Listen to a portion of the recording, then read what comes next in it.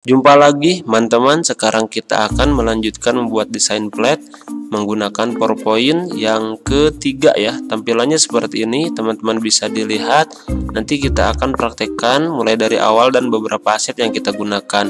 Silahkan download filenya ada di durasi ketiga menit, kita langsung saja pada tutorialnya. Oke, langkah pertama kita buat dulu satu blank presentation ya seperti biasa. Setelah dibuka powerpointnya silakan dihapus dulu untuk add, eh, text boxnya teman-teman. Setelah itu kita buat satu buah rectangle ya. Di sini digambar saja seperti ukuran yang ada di dalam powerpoint. Bila mana ukurannya ingin beda nanti teman-teman bisa masuk di desain dan bisa dimasuk di size ya di sini custom saja. Kebetulan yang kita buat landscape ya seperti ini. Kita buat dulu di bagian format. Setelah itu untuk konsep outline-nya kita pilih now saja. Sekarang kita buat backgroundnya menjadi warna ungu. Seperti biasa tinggal pilih save file-nya di sini ada beberapa varian warna ungu ya. Teman-teman warna ungunya bisa dipilih more color di bagian filenya bisa lebih gelap ataupun warna ungu yang lebih cerah juga boleh silahkan. Di sini supaya sama teman-teman saya menggunakan eh, kode ya untuk hexa nya yaitu 282561 itu untuk kode warna ungu yang saya gunakan.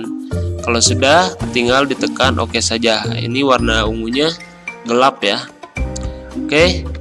Setelah itu pada bagian tengah di sini kita buat satu buah gradasi ya, teman-teman. Caranya masuk di save field, terus ada di gradient. Di sini bisa dipilih untuk warnanya. Kita pilih dulu more gradient saja. Oke. Terus kita pilih di sini untuk gradient dan bagian yang tengahnya kita buang. Oh ya maaf ya teman-teman yang Tadi kita ulangi saja di sini ya, dipilih saja untuk warna ungunya. Ini juga sama, dipilih warna ungu dan di e, bagian more colornya dipilih lagi. Kita pilih warna ungunya yang lebih cerah ya, seperti itu. Dirasa sudah cukup, sekarang tinggal kita tekan OK. Untuk directionnya, teman-teman, di sini dipilih untuk directionnya radial dulu ya, sini. Tipenya maksud saya, tipenya radial dulu terus ada direction ya. Directionnya kita pilih bagian tengah di sini. Jadi di bagian kiri kanannya itu sudah menjadi eh, gradasi ya. Hanya di bagian tengahnya ini menjadi. Untuk mendapatkan file silahkan klik halaman link download yang ada di deskripsi. Setelah itu nanti teman-teman akan dibawa kepada halaman blog. Cari tombol download biasanya paling bawah ketika diklik nanti akan langsung dibawa ke Google Drive. Silahkan di download dan selamat Anda bisa mendapatkan file desainnya secara gratis tentu dengan dibaca ketentuan dalam pemakaiannya. Terima kasih. Agak cerah. Kita tarik ya. E, sebentar teman-teman. Harusnya di sini pada bagian gradasi di tengahnya itu ada di bagian sebelah kiri karena nanti bagian masjid atau ornamennya ada di sini. Teman-teman di sini agak susah ya karena pada di PowerPoint itu kita hanya disediakan beberapa saja seperti itu. Jadi kita harus memberikan mengakali lah istilahnya ya. Kita geser dulu ke sebelah kiri teman-teman. Setelah itu kita duplikat ditekan kontrol ya ke sebelah kanan. Oke. Dan bagian yang ditekan kontrol ke sebelah kanan atau yang diduplikat tadi ya kita turunkan ke bawah send to back seperti itu.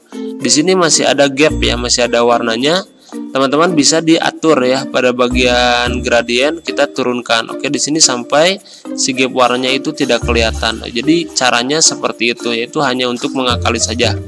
Oke teman-teman selanjutnya kita uh, masukkan untuk patternnya ada di insert lalu dipilih picture pilih this device. Kita masukkan asetnya di sini nomor 10 ya untuk aset patternnya.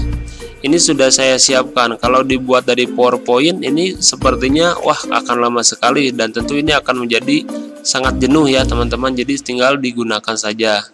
Kita pilih di sini untuk lebarnya disesuaikan dengan bentuk dari page ya. Kebetulan ini sudah disesuaikan.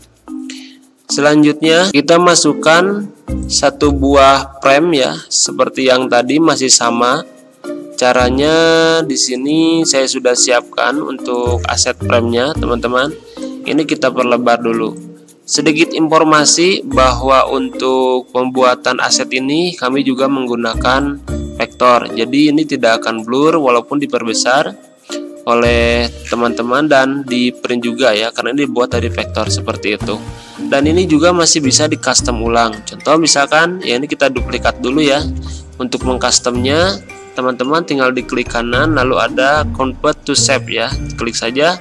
Tetapi pada bagian e, objeknya itu akan mengalami perubahan terutama di dalam bagian e, gradasi ya. Di sini kan gradasinya warnanya emas, di sini menjadi warna coklat seperti itu. Untuk mengatur ulangnya, teman-teman, kita coba ya. Yang ini kita atur ulang saja untuk gradiennya ini bisa dipilih saja gradien ya.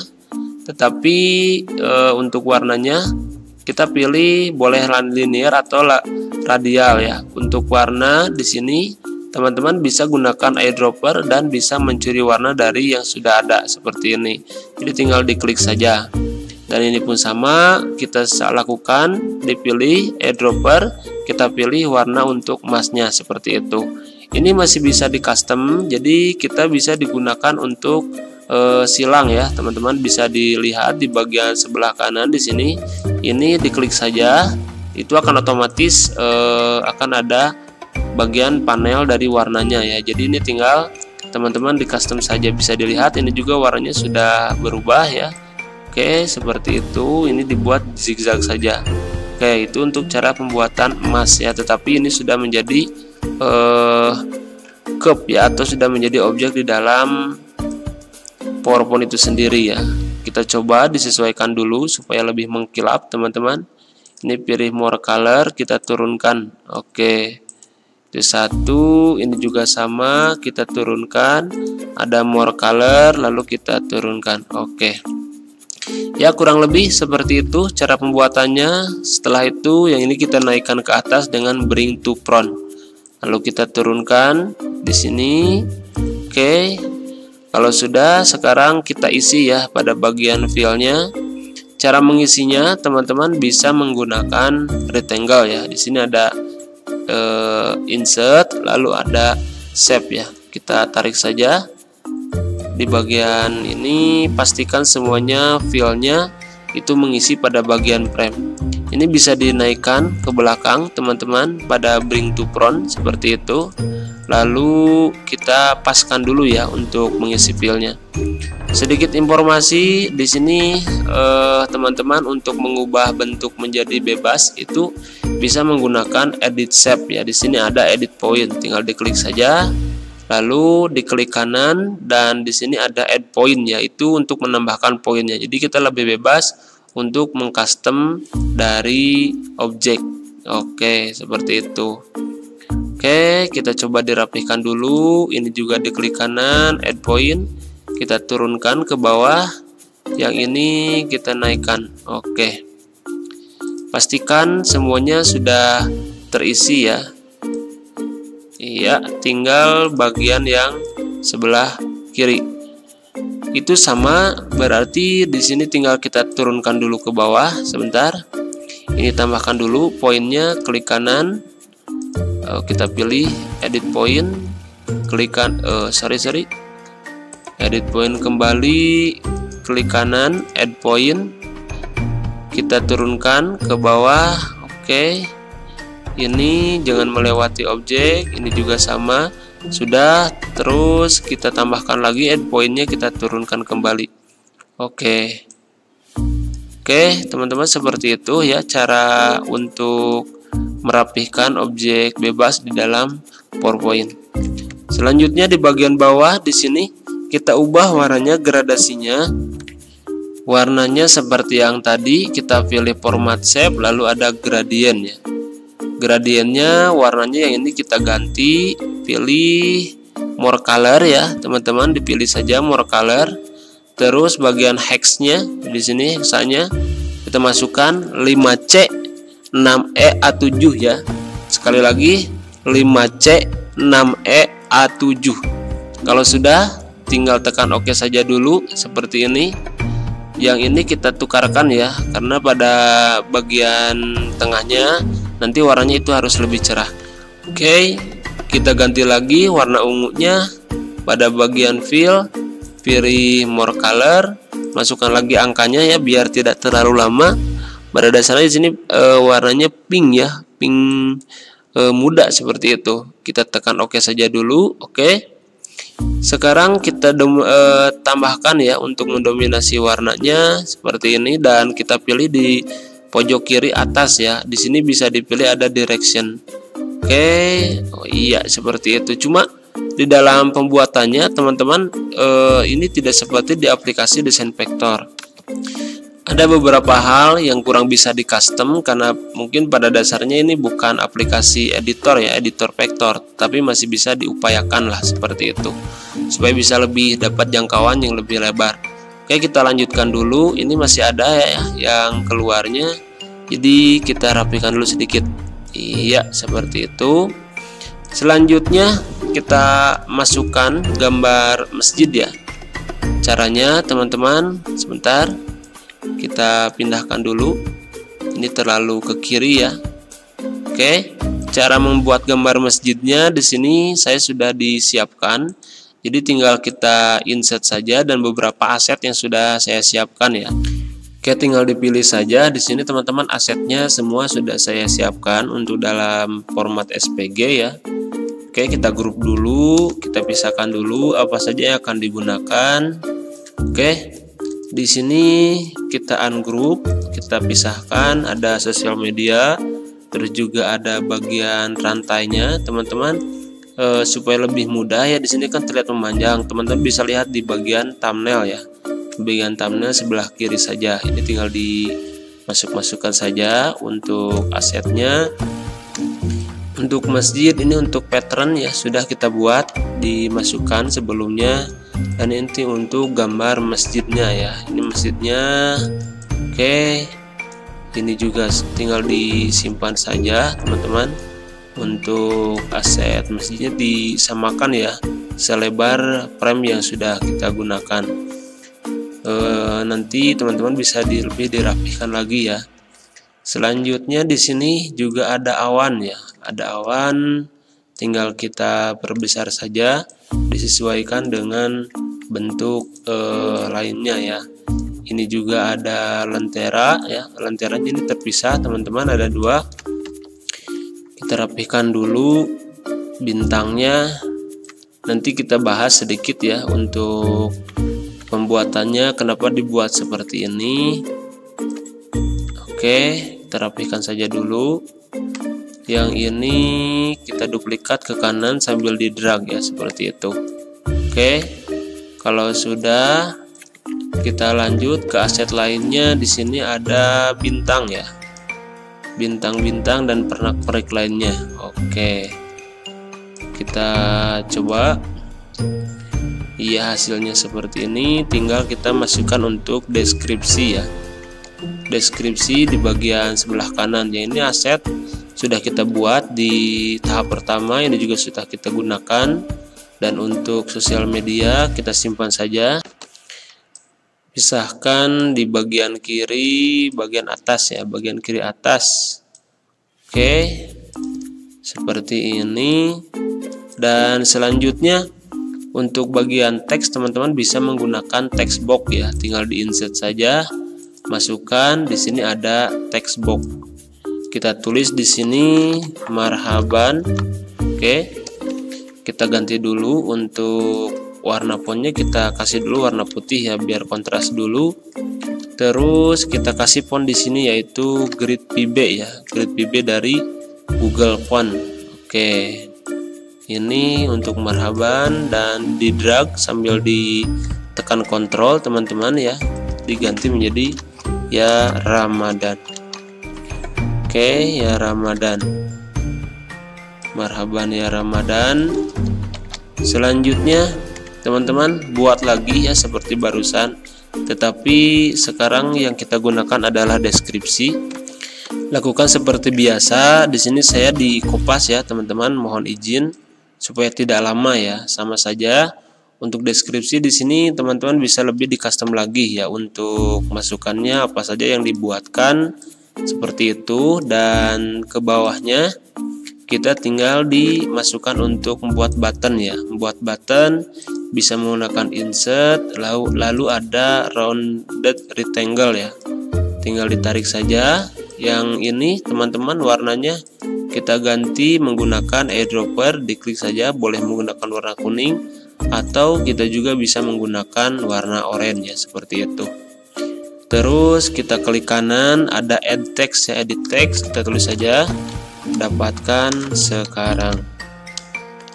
Oke. Setelah itu teman-teman kita kontrol A dulu.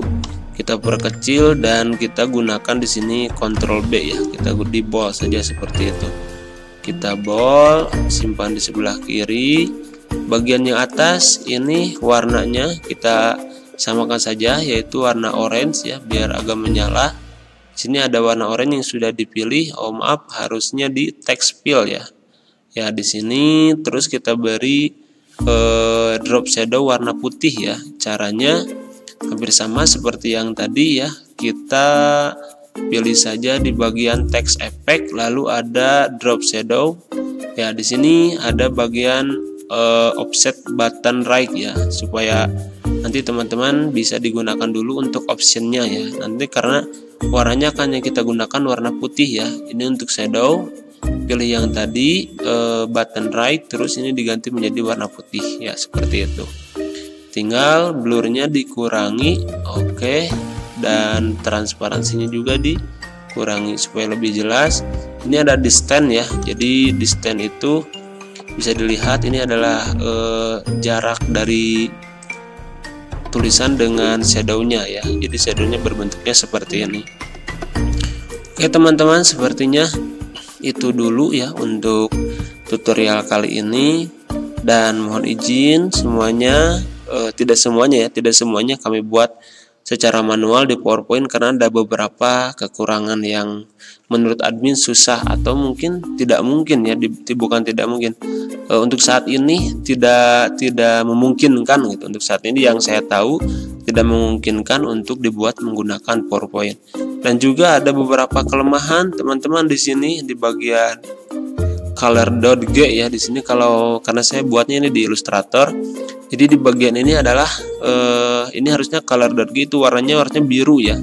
Biru menyala karena memang ini tidak dalam satu kesatuan dengan background itu warnanya seperti jadi seperti ini jadi putih dengan hitam warnanya jadi seperti itu.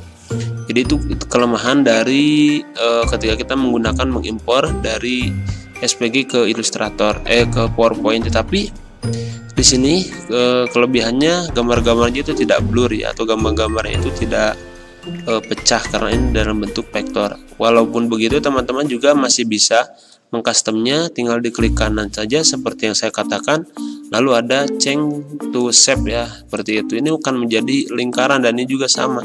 Karena di dalam e, bentuk rantai ini ini adalah garis ya. Jadi teman-teman coba di ungroup dulu. Pada bagian ini tidak ada settingan untuk color dorge di sini eh, settingannya biasanya di bagian transparan ya. Jadi transparannya settingannya bagaimana itu tidak ada di PowerPoint. Makanya admin langsung disetting saja di dalam SPG nya jadi bentuknya seperti ini. Ini kelemahan di dalam menggunakan PowerPoint ketika kita melakukan settingan di bagian aplikasi e, desain vektor seperti Illustrator. Oke, itu dulu. Mohon maaf dengan segala kekurangannya. Tidak bermaksud apa pun, tidak bermaksud membuat clickbait, tetapi ini kekurangannya. Jika teman-teman mau menggunakan, silahkan tentu dibaca dengan ketentuan yang sudah ditentukan. Terima kasih. Salam belajar Nesia Channel.